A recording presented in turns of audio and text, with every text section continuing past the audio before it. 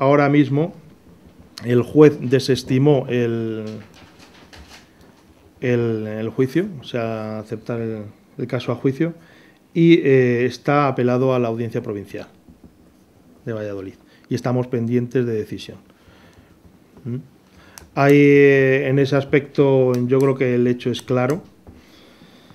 las, digamos, eh, los delitos a nosotros nos parecen perfectamente justificables.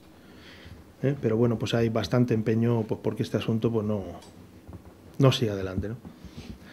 Hay otro asunto que tenemos, hay cuatro expedientes eh, de sanción abiertos a cuatro miembros de la Unión de Campesinos de Segovia por eh, la protesta que hicimos en la Plaza Mayor relacionada con la presentación del Palacio de Congresos. eso pues nos han, nos han ya mandado por la resolución firme de la sentencia vamos, de la sanción. 300 euros, recuerdo que era cada uno, ¿no? De sanción.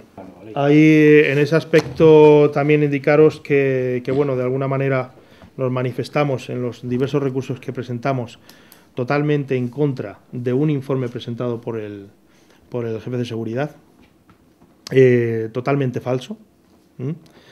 Y de hecho, pues procedimos también a denunciarlo a los tribunales la redacción de ese informe. Y luego, pues otro asunto que tenemos pendiente es eh, la querella interpuesta por la consejera de Agricultura contra el coordinador de la Unión de Campesinos de Segovia, en este caso yo.